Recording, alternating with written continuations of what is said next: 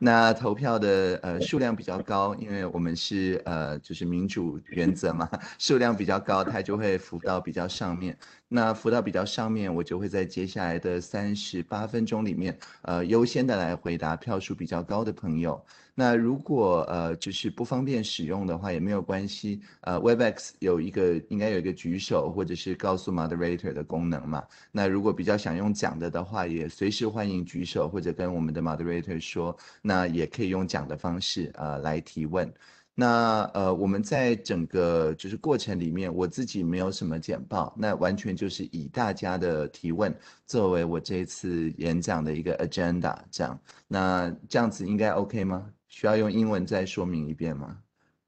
啊，不用，OK，还好。好的，那我们是不是就直接开始？好，好，那有七位朋友们想要问说。呃，唐志伟利用科技快速的串联，已经掌握各地资讯流通与共享，让人印象深刻。谢谢唐志伟的贡献。请问诸位，对于某些弱势的族群，基于各种原因，可能没有办法享受科技带来的好处，好比方说没有钱上网，或者说不识字啊。但这些朋友常常又是社会最弱势的底层，但是最需要政府的帮忙。所以政府要怎么做，才能确保这群朋友不会被社会遗弃，或者甚至连求助的管道都没有啊？这非常好的一个问题。呃，我们在台湾所谓的创新。包容、永续，就是 innovation, inclusion and sustainability。这个是我们整个就是二零三零年智慧国家的最主要的三个愿景。所以创新它不是盲目的创新，它是为了包容社会上每一个人而创新。那 inclusion 包容也不是只是包容这一代人，而是包容还没有出生的下一代人。那这个就是所谓的永续，或下几代人。那以就是比较具体的例子来说，我们在设计很多数位服务的时候，都会像我刚才一开始讲的说，如果您不方便用 QR code，可以用网址；不方便用网址，可以用讲的，可以请人帮忙等等，这个我们都必须要讲在前面。他的想法就是，我们 bring technology to society。不是说呃，as society to adapt to technology，就是我们要的是技术来配合社会，而不是说要社会来配合技术。我举两个例子，一个例子是说，我们之前在买口罩，口罩实名制的时候，那当时因为我们知道台湾两千四百万的人口，一天只产出当时一百八十八万片口罩是不够用的，所以在我们口罩正在增产的时候呢，我们就有了一个到。药局排队买口罩的这样的做法，那当我们要把它数位转型的时候，我们就想到说，哎，那我们可以去便利商店，因为台湾有一万两千家便利商店嘛。但是呢，因为我们在设计的时候，我们有请很多八十几岁。七十几岁的朋友来跟我们一起设计，包含我自己的阿妈啊，她是鹿港人，你今年已经八十八快八十九岁了啊。所以呢，当他们有参与这样子的体验，我们说 nothing about us without us，就是呃关于他们的事情必须要有他们的参参与的时候，他们就发现说，为什么他们愿意去药局，是因为他们跟药师之间彼此信任，他们对健保卡不会被滥用，有彼此信任。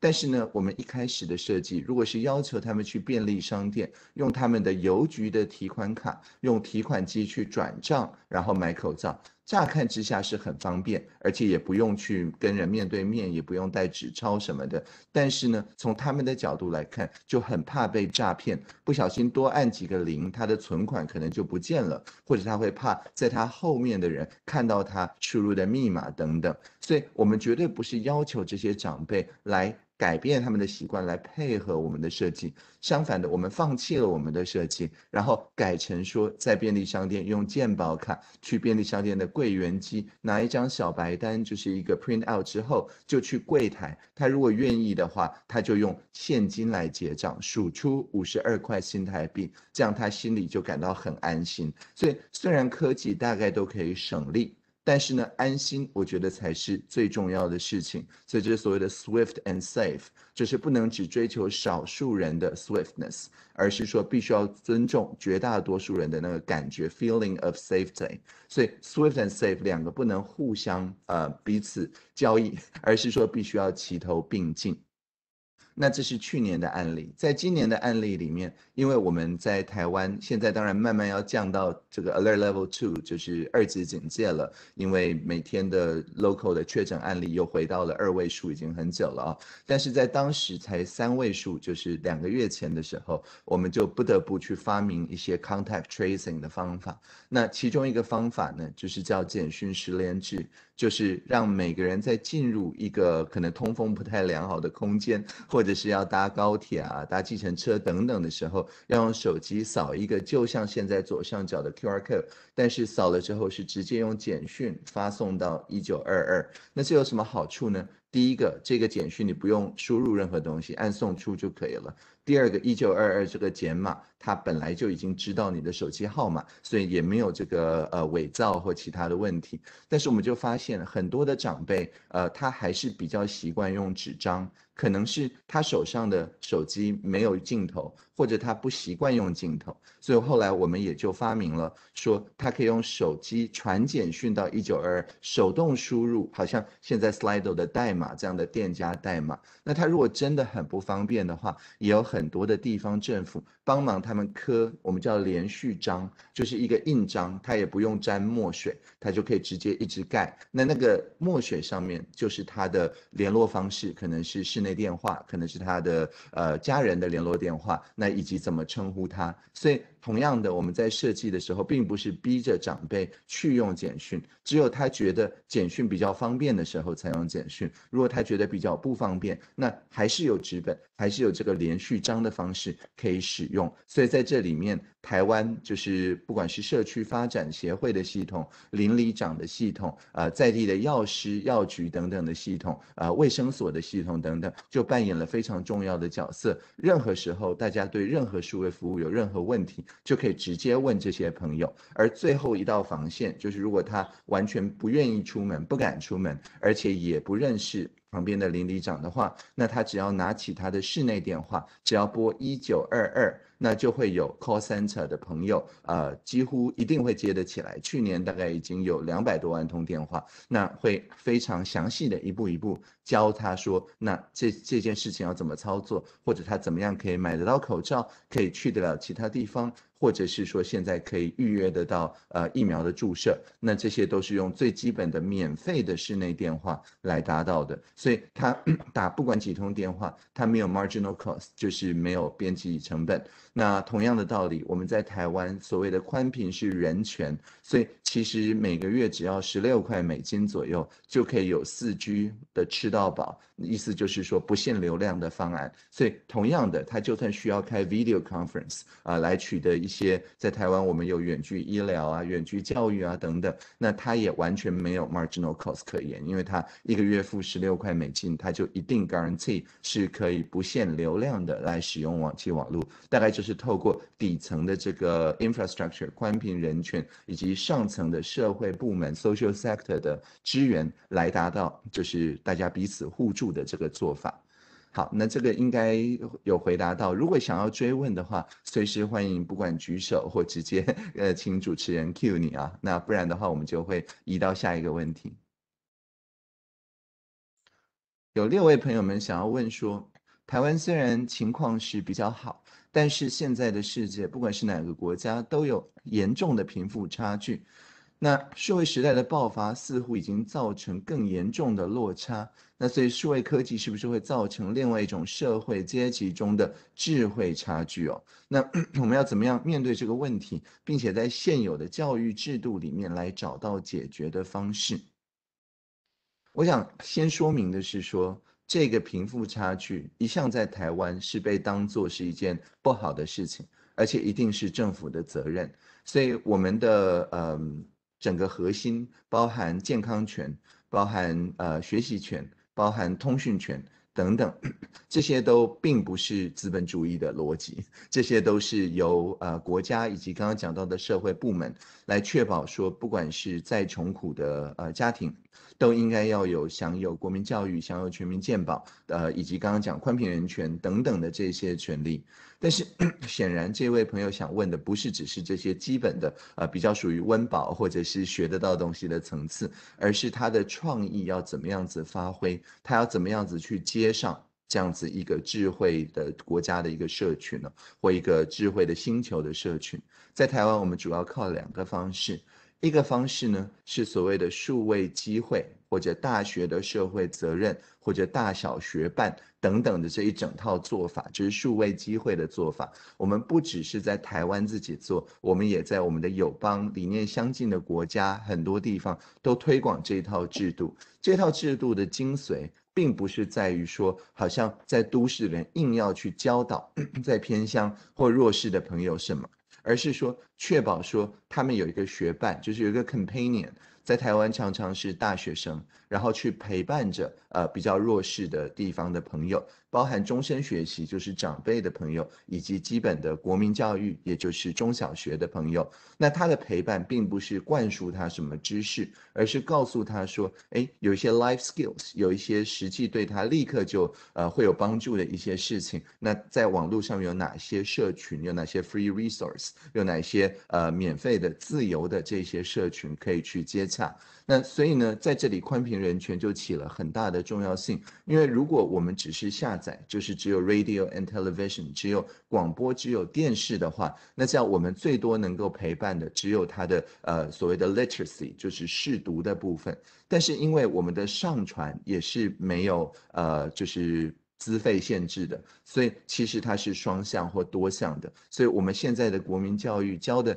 就不是只是 literacy，而是 competence。那 competence 这个字呃其实华语并不好翻译，所以我们后来就翻成素养。意思是说，它是由内而外创造的一种能力，所以我们现在不管是在偏乡，或者是离岛或其他的地方，那他的学校自己可以定义他的素养导向的校本位的课程，也就是说，我们不是在像以前国立编译馆或国教院。Top down 的去要求每个学校去教一样的东西，而是说它可以因地制宜的去跟在地的社群结合。本来只是社团的第八节课的等等的这些，都可以进入正课里面，大家一起来想说怎么样帮在地做地方创生、做复兴。那这样子的话，这些小朋友他在学的时候就已经学以致用，就不会像以前好像他的精神全部放在比较抽象的学问上。那这样子的话，等到他到大学的时候，后可能也不一定那么容易再回来跟他的乡土去做连接，所以在网络的世界上是用数位机会学办的做法，那在在地的部分是用大学的社会责任校本位的素养的课程，然后以及我们所有人都一起去所谓终身学习这样子的一个 regime 来达到。那在台湾我也很高兴看到，包含社区大学、实验学校等等，有很多民间办学的这种能量。那这些能量呢，其实不是去跟教育部有所竞争。我常常就说，作为第零代自学生，呃，我们的实验教育是 research。那我们的国民教育是 development，就是我们试出一些呃比较适合的，像素养导向的做法，maker 的做法。每个人不是只是在那边接受资讯，而是每个人都是新闻传播者，呃，事实查核者，fact checker 的做法。那这些在实验教育里面整理出教材教法之后，那我们在国民教育里面这两三年就已经全面的推行。那当然实验教育那边就继续 research。更多更尖端的一些做法，所以这是一个互相加强的，不是哪一边去跟哪一边竞争的做法。大概是我们目前的教育制度对于 in inequity 啊，就是不不平权、不平等的这件事情的一些回应啊。那有五位朋友们问说，请问唐主任，随着 AI 的普及，未来十年有哪些工作可能被 AI 逐渐取代，而哪些工作比较不需要担心呢？呃，其实 A I 这个字哦，在我的脑里，我是把它念成 assistive intelligence，就是辅助式的智慧。那这是什么意思呢？就是它是辅助人跟人之间的沟通，人跟人之间的共好、协力的创造，而不是把一个一个的个人把它代替掉、取代掉。举例来说，像我戴着这个眼镜，它就是一个 assistive technology 嘛，它是一个辅助科技，它让我可以看得更清楚。可是呢？并不是说，呃，我看一看之后就跳出一个广告视窗，十秒钟倒数，我才能够关掉它。如果是这样的话，这个眼镜就不是以我的最佳利益为利益了，它就是以什么广告商的最佳利益为利益。那所以这个是 AI 的第一件事，叫 alignment，就是它应该是以我们的 最佳利益为。利益嘛。那另外一个就是说，假设这个眼镜今天松掉了、坏掉了，怎么样？那我常常就是看一些线上影片，我自己拿个什么东西就把它修好了，或者我就可以拿去隔壁的眼镜行，虽然它不是当初配这个眼镜的那一家厂商，但是也可以把它修好，不用去付什么五亿元的权利金呢。那 所以这个是所谓 accountability，就是说 AI 它一定会有一些呃跟一开始设计预想不到的一些情况，但是这些情况不管是 bias 或之类，那这件事情其实我们都没有办法说呃在一开始设计的时候做到最好，所以我们必须要怎么样呢？就是呃 bring power to the edge，或者我常常喜欢说 empower people closest to the pain，就是说呃他越会被 AI 所影响，他越应该有调教 AI 的能力。那如果这样子的话，才能够确保说不会变成一开始设计的时候 利益良善，但是 到实际呃跟社会融合的时候，反而去扰乱了社会。所谓 disruptive innovation，我只举一个例子，好比像说我们之前在推动自动驾驶的车子啊、船啊、飞机啊等等，就是所谓的 autonomous vehicle 的时候，那这个时候呢，我们在台湾就有很多试验的场域，包含我自己的办公室。仁爱路三段九十九号 Social Innovation Lab，呃，社会创新实验中心就是这样一个试验场域。但是我们并不是一开始就开卡车、货车，而是我们就是找了一些三轮车从 MIT Media Lab 过来。那它是开放的，意思是说任何人都可以去改造它。所以这些三轮车跟旁边建国花市的朋友互动之后，我们就多了很多使用方法。好比像说，大家不想要拿它来代步，而是想要它拿来当呃，我在建国花市买花的时候，可以自己跟着我的那个 shopping cart，呃，就是亦步亦趋的跟着我走的 companion。哎，这个就是一个在地对于科技的要求。那又或者像说，呃，他在呃比较人多的时候，他必须要先让一个人通过的时候，当时在 MIT Lab 在 Boston，他让人的这个方式跟在台湾是不一样的。在台湾，我们经过一些测试之后，那发现大家都希望先让长辈通行，然后才是呃可能就是身心障碍的朋友，可能接下来是怀孕的妇女，那最后才是小孩子。那但是呢，他在刚出场在 Boston 的时候，其实是先让小孩子哦，完全不管长辈的。那所以意思就是说，长幼有序这个概念是我们呃在地的观念。所以如果这个 AI 它不 accountable，就就是说它不对它的使用者 accountable，而只对它的设计师 accountable，那这样子的话，我们 势必就会呃受到非常多的扰乱跟争议。所以回到这个问题。我觉得任何的工作里面，只要他工作的项目是像刚刚讲到的，专注在人与人之间的体验，把人跟人之间的创造力凝聚在一起，面对社会多，而不是面对机器多。那在这个情况下，就没有被 AI 取代的问题。AI 就是你的助手，就是你的 assistants。那但是呢，如果一个人的工作，他本来就是一个呃非常的简化的工作，他的输入跟输出都很简化，而且不假思索就可以做的话，那当然，在工作的时候就会觉得，呃，在台湾有个讲法叫“工具人”，好像自己变成一个工具的这种感觉。那这种其实做起来也不太舒服的工作，其实我们就像英文的 computer 或者 printer，本来也都是人嘛。那但是后来 computer 跟 printer 都变成机器了。但是你说我们没有呃资料科学家吗？或者我们没有做呃媒体跟出版工作的人吗？我们还是有啊，只是他们做的事情就不再是啊 computer 跟 printer 这些机器做的。事情了，所以工作的项目可能会自动化，但是里面只要是面对人、展现创意的部分，应该就不会被取代啊。好，那所以这个部分是不是就先回答到这边？我们就再往下。好，那下一个问题是这样的，就是呃，近年来。P.R.C 方面，北京方面 近年来，进呃利用综艺以及娱乐反向输入进台湾，那在某个程度上面降低了新时代台湾人对于中国的戒心。那请问一下，政府有没有什么反制的措施哦？非常非常好的问题，而且非常重要的问题。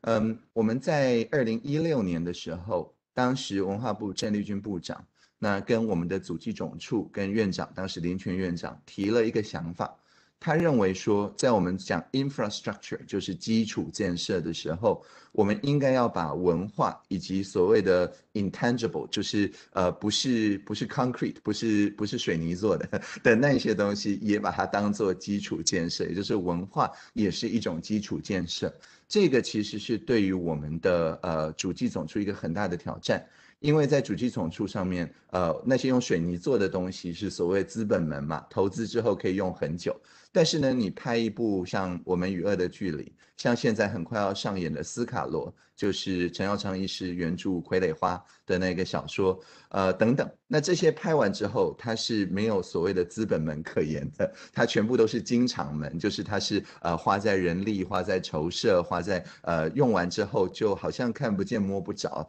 的一些事情上面。所以，按照我们的财政纪律的原则，本来是不可以把。基础建设的特别预算编到这些事情上面的，那但是呢，当时我就跟曾丽君部长呃一起说服林权院长呃以及主计总处说，呃并不是这样子的。因为我们如果拍出来的这些东西，以及拍的过程里面所有台湾的这些数位模型，这些值得保存的一些古迹，它不是只是放在那里保存啊，我们会把它全部扫描起来，放到 VR 里面。任何时候，未来其他地方的人要做游戏、要做动漫、要做什么创作的时候，他就可以从这些台湾的元素出发。也就是说，它只要能够被不断的重新活用，那它也就具有公共建设的性质。所以当时我们把它叫做 digital public infrastructure，就是数位的前瞻基础建设。所以我们在那一段的预算里面，不受到资本门跟经常门的限制，而是直接就拿了国家的预算来，然后去确保说，在台湾的这些文化，不管刚刚讲到的。这些古迹建筑物，大家可以到台湾数位模型库，现在都可以看得到，或者是民间所贡献的这些故事，台湾文化记忆库也可以看得到。那所有这些事情，我们现在都是用公共的预算来进行公共的 curation，公共的策展。那这样子的话，新时代的这个台湾人，在他创作他的不管是家庭作业，还是动画漫画，还是什么之类的时候，他就有非常多的素材，然后也不需要去违背著作权，因为我们刚刚讲。到的这些都是 CC 授权 Creative Commons，就是任何人都可以呃混搭然后来创造的啊。那呃有一位刚刚有一位朋友私信我说，可不可以我举我自己具体的例子来讲说怎么鼓励年轻世代的创造力？可以啊，如果在 国家文化这个记忆库有看到唐凤这个标签的话，会发现说我不但抛弃了我的著作权，我连我的肖像权也抛弃。所以呢，大家就会看到很多我拍的呃比较时尚的照片哦，上面就说是 CC 授权，就是你随便拿去用，就算是恶搞，我也不来告你。的这个意思，那所以就有很多的创意，好比像说我们的客家委员会之前就拿我的照片去呃弄了一组这个唐凤过台湾哦，没半点钱，脑坡耕田啊等等的这些梗图啦，在 网络上面 疯传。那在日本呢，也有一个呃乐团叫 Dos Monos，那他就用呃我访问的这些 CC 授权的素材混搭。变成一个歌颂这个民主之国 的这样子一个新的饶舌乐，那这也很有意思。那或者像我们的这个总统文化奖得主林长佐 （Freddie Lim），那他就在他的大港开唱的表演里面，也把我的影像素材混进去，然后呢，就是呃用我就是讲台语的一些声音档。那变成他的歌词的一部分，那这个也呃受到很多国外朋友的，特别是听重金属的朋友的欢迎，所以这个可以告诉我们说，一开始如果就采取这种创用 CC Creative Common 的方式的话，那么我们就不会再有像呃。版权所有翻印必救，变成好像我们自己觉得文化很棒，但是其实国外的人都没有办法来运用的这个情况。我们一开始就采取开放式创新 （open innovation） 的方式的话，就更容易的让我们这些文化素材变成全世界的一部分。如果这些很抽象，我举一个具象的例子，就是 bubble tea。呃，我们知道在台湾珍珠奶茶是没有专利权的，任何人就算用黑珍珠或白珍珠都可以宣称它是珍珠奶茶。所以，就我到伊索比亚的时候，当时在阿迪斯阿巴巴，他们有一个呃。就是加速器，有一个创创业加速器。他们在那边讨论的时候就说，他们怎么样把 Rooibos，就是南非博士茶，也能够搭到台湾的珍珠奶茶上面，这样子就可以让全世界看到。而这并不是因为我去他们才这样讲，他们不知道我要去，而是说在他们的那个 presentation 上，珍珠奶茶就跟寿司一样，变成他们全世界唯二，他们想要搭上去的这样子一种开放式创意。但是我想一想，如果我们说，呃，他如果用南非国宝茶，我们就要告他。这就不是开放式创新了。这样子的话，台湾的文化反而没有办法那么容易传递到非洲或者是全世界去。所以，开放式创新，我觉得是最重要的一个部分啊。希望有回答到这个问题。有五位朋友们想要问说，这几年来 AI 以及大数据，所谓的 Big Data 或巨量资料，是热门的关键字。那当然，现在就有很多以 AI 或者 Big Data 为题目的研究，或者是创投的项目慢慢出现。但是实际上有用的部分，或者确切需要 AI 的部分，其实是少之又少。那请问一下唐凤主位，这个问题说，以您专业的角度，要怎么判断，就是挂上 AI 的角度的这个项目，是不是有它的必要性，以及有它的可行性？我我是觉得这样啦，就是大数据哦。呃，已经变成类似像发语词这样的意思，就是有些人在讲话一开始的时候会说，哦，你知道怎么怎么样，或者是说，呃，这个我们觉得怎么样，基本上怎么怎么样，就是说它是已经嗯没有一个语用，没有一个 semantic，没有一个语义了。它当然有一些语用没有错，但是没有语义的一个词。那 AI 因为它可以展开成任何东西，现在用 AI 大部分意思就是 automation。就是自动化，任何地方只要有自动化，大概就可以把它叫做 AI 哦。所以我是觉得也不用特别觉得它刺眼，你就把它当做类似像呃上下引号或者是发语词这样子的一种修饰性的标点符号，这样子去看待可能是比较好。那但是呢，呃，具体的来讲，我们如果现在看到 AI 或者大数据，我们其实只要问一点，就是说被它影响的人。可以怎么样影响这个技术的发展？其实你只要这样子问，马上就可以分开我刚刚讲的 assistive intelligence，或者是如果回答不出这个问题的话，authoritarian intelligence。什么是 authoritarian intelligence 呢？就是它是把权力不是放到每个人手上，而是把本来每个人有的权利收回来到那个 AI 的设计者手上。所以它挂 AI 也好，挂大数据也好，其实它就是一个 power grab，就是是一个想要集中权力的动作。那这个不管是跨国的公司，所谓的监控式资本主义 （surveillance capitalism），或者是一些比较集权的政权，那所谓的 state surveillance，那这些都是一样的。也就是说，它挂 AI、挂大数据，其实重点都不是这些技术名词，而是它想要集中权力。那我们要怎么样子去对付这样子的一种想法呢？其实也很简单，就是民主啊。因为民主这个概念，其实在台湾已经落实为一种科技，technology 其实也包含 social technology，投票也是一种 social technology 啊。我们在台湾开票的时候，一张一张纸拿出来，看起来很落后。但是呢，我们又很先进的，在宽平人权的情况下去开放各党派以及没有党派的监票员，一般人都可以用他的手机及时去录那个开票的每一个角度，而且每个政党还有自己计票的软体，所以任何投开票所都没有什么争议可言，因为一个人他总是相信他的相信的政党的 YouTuber 嘛，那这个 YouTuber 又是有很多人看，他觉得很高兴，所以如果各党派的 YouTuber 算起来。结果都一样，那这样的话，其实根本没有说 坐票啊、作弊啊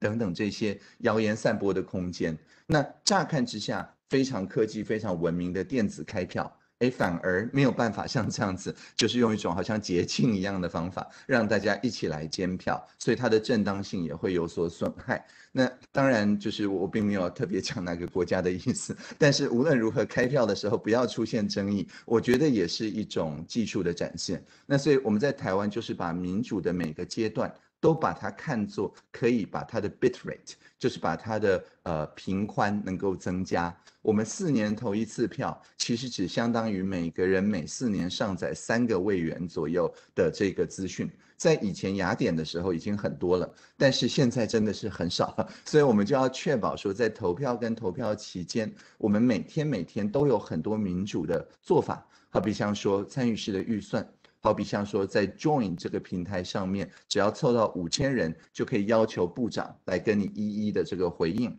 好比像说，我们总统杯黑客松可以去提一个案子，总统每年颁出五个奖品，这五个奖品就是把它当总统证件一样可以执行哦。那等等，那这些做法其实每天每天都在投票。那只有这样子，我们才能确保说民主的平宽可以大过威权的平宽。而当民主的平宽足够大的时候，大部分人习惯了这个生活方式之后，当然就不会愿意他们的决定权被不管是集权的政府或者是集权的跨国公司所收取。所以在台湾，我们把这个叫做 social sector first，或者叫做 people public private partnership，就是先是由社会部门发动，但是公部门把它增幅，然后私部门呢就是去 implement 去实现这样子的一种创新方式。所以我想，呃，如果有必要性，都是往这个方向。那如果是另外一个集权的方向，就是不但没有必要性，而且。不要这样子做比较好。那所以我们在判断，好比方说科技部的计划等等的时候，很多都是用这样子伦理的判准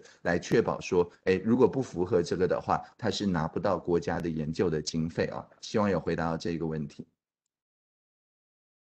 好，我们呃现在还有七分钟，我想说在继续 Slido 之前，是不是有一些朋友，因为我刚才问题中间都很。简短，没有保留很多时间，是不是想要呃用讲的发问的？也许先问一下，那真的没有，我们再回 slide。嗯，唐部长，我们今天是以 fan 的 setting 比较特别，嗯，大家是没有办法自己发言的，就是只能透过打字的形式。那 moderator 有收到什么私讯吗？目前没有。OK，那如果 moderator 没有的话，那我们是不是就继续了？好的，谢谢。OK。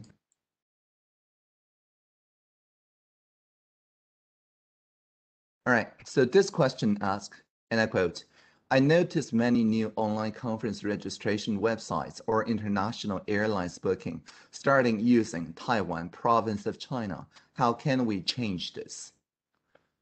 Well, the question is whether you want to change it personally or if you want to change it for other people using the website. To change this personally is very simple. You can just right click on the website and click inspect and then you can start changing the words. For example, I'm now changing it to Taiwan Republic of Citizens. All right, so that's a very easy way to, to change things. Uh, you can use your browser.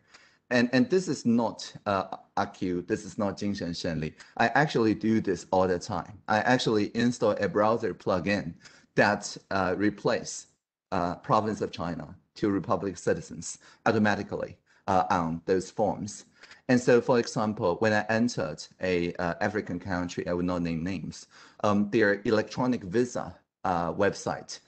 uh, has a pull down, and predictably, it only says Taiwan uh, province of China. But because I have installed this automated replacement plugin, so to me, the, the drop down reads Taiwan Republic citizens. And so when I filed this e-visa, it actually generated a PDF file with my changes on it. Uh, and then I printed it out and I brought it uh, to the customs uh, entering that country. And, and it they, they didn't really think twice. So basically, uh, this is what I do almost automatically all the time, is to ensure that all the forms that I send out uh, labels Taiwan as a Republic of Citizens or um, if I, I have my way in translating the full name, I'll translate it say Transcultural Republic of Citizens. So anyway, so uh, this is my personal approach. But of course, uh, that does not affect everybody else using that website unless you convince them to install the same plugin, right? Um, and so really uh, the technical way to do about is to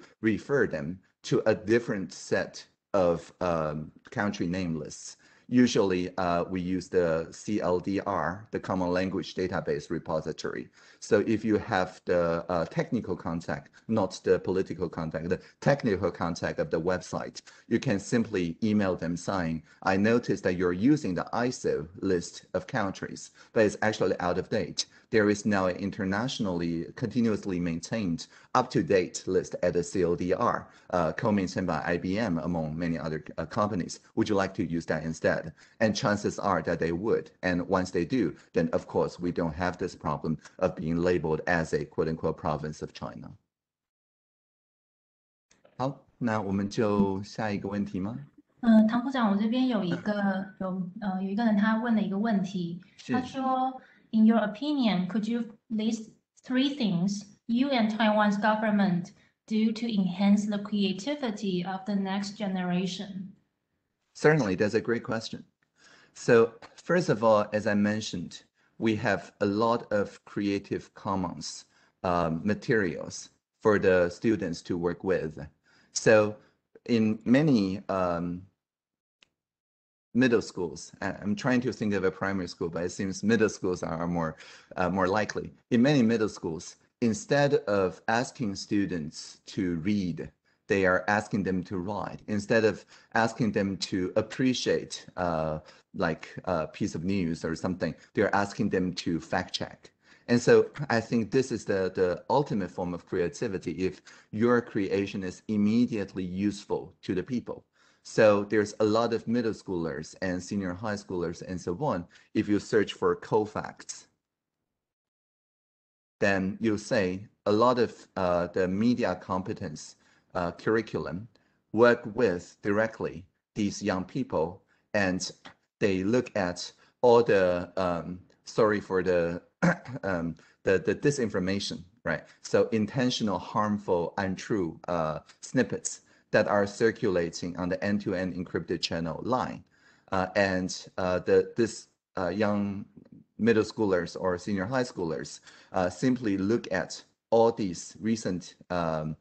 disinformation and started working on fact checking them. And this is not just about rumors. This is also about, say, the presidential debate and platform. Back in the 2020 presidential election, a lot of middle schoolers and senior high school students, among other people, fact checked the three presidential candidates as they are having their debates uh, and platform uh, online. So working with public TV, among other uh, television media, these uh, young people contributed to democracy directly by ensuring that the um, all the presidential uh, debates are well founded on reality, and if not, then they provide the necessary reality check. But the reason why they are so adept at doing this is that they have day-to-day -day experience working with um, counter disinformation on the co-facts um, projects. So that is one project that I would like to highlight. Um, another project I would like to highlight that enhance creativity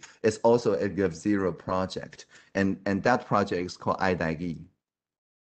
Because in, uh, I think starting primary school, uh, everyone now uh, has the option to choose uh, their mother tongue, uh, their local language to be taught in primary schools. So um, the iDaigi project worked with many primary schoolers uh, and their teachers uh, to translate um, these, well, very popular, still very popular among children um, Pokemon um, names into Daigi, uh, into the Taiwanese Holok uh, language. And so, for example, the, the term Pokemon itself um, could be translated variously as La, La Guaishu, uh, or uh,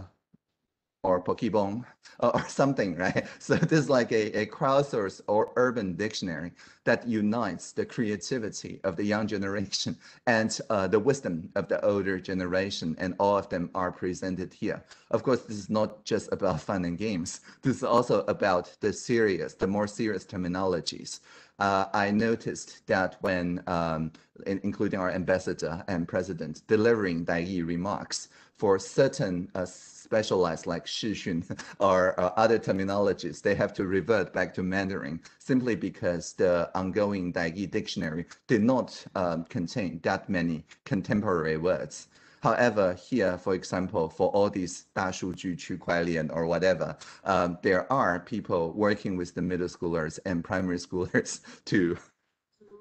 to to try to find the Daigi uh, equivalent uh, of these